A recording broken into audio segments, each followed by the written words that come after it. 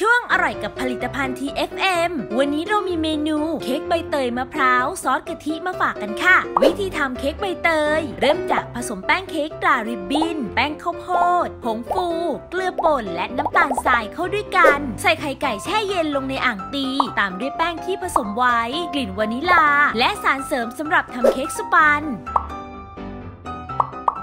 เติมน้ำใบเตย และสีผสมอาหารสีเขียวแอปเปิลตีต่อที่ความเร็วสูงสุด 3 นาที ลดความเร็วต่ำ 3 นาที ใส่เนยสดละลายตีผสมพอเข้ากันแล้วปิดเครื่อง เทส่วนผสมเค้กลงในพิมพ์ที่เตรียมไว้ เกลี่ยหน้าให้เรียบนำเข้าอบที่อุณหภูมิ 350 องศาฟาเรนไฮต์แล้วคว่ำออกจากพิมพ์ วิธีทำซอสกะทิ ใส่แป้งข้าวโพด เกลือป่น น้ำตาลทราย และกะทิสำเร็จรูปลงในภาชนะ แล้วนำขึ้นตั้งไฟ คนตลอดเวลาจนส่วนผสมสุกข้น ปิดไฟ